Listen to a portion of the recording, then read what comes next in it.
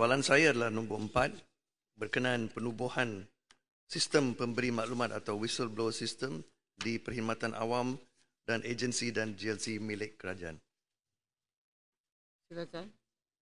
Datuk Seri Yang Dipertua, terima kasih uh, Yang Berhormat Sungai Buloh, my learned friend, yang bertanya mengenai perlindungan kepada pemberi maklumat ataupun whistleblowers di negara kita.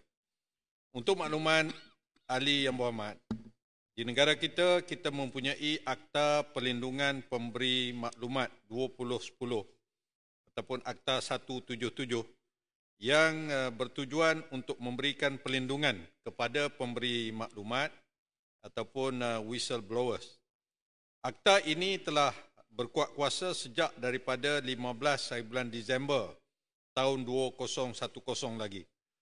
Antara objektif penggubalan Akta 711 ini adalah untuk memerangi rasuah dan salah laku lain dalam sektor awam dan swasta dengan menggalakkan dan memudahkan orang awam untuk mendedahkan perbuatan rasuah dan juga kelakuan tidak wajar di dalam masyarakat.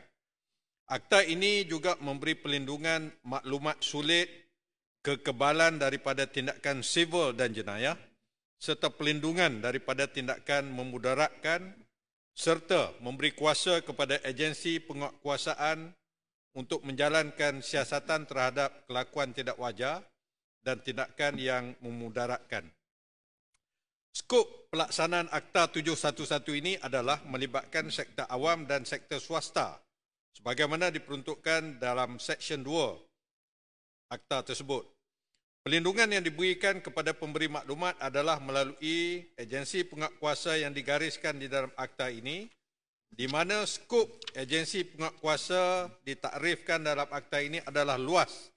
Dan dalam hal ini agensi penguatkuasa yang dimaksudkan merangkumi SPRM, Jabatan Immigration Malaysia, Jabatan Pengangkutan Jalan Malaysia JPJ, PDRM, Suruhanjaya Syarikat Malaysia SSM, Jabatan Kastam Diraja Malaysia dan juga Suruhanjaya Security Malaysia.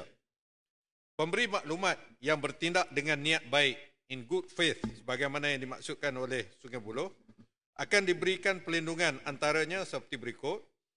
Perlindungan kepada maklumat sulit iaitu maklumat identiti, alamat, pekerjaan dan yang berkaitan dengan pemberi maklumat tersebut.